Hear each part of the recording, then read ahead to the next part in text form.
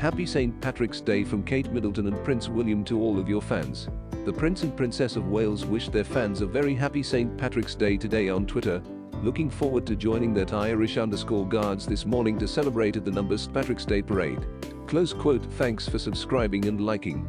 There were earlier rumors that Kate Middleton was getting ready for a very important function on Friday. The Princess of Wales will salute for the first time as Colonel of the Irish Guards during a tour to Mons Barracks to celebrate St. Patrick's Day, according to Hello magazine. The outgoing colonel of the company, Prince William, will reportedly be happily observing her from the stands, according to the story. Write in the comments what you think about this. And at the end of the video I ask you to subscribe and like, thank you.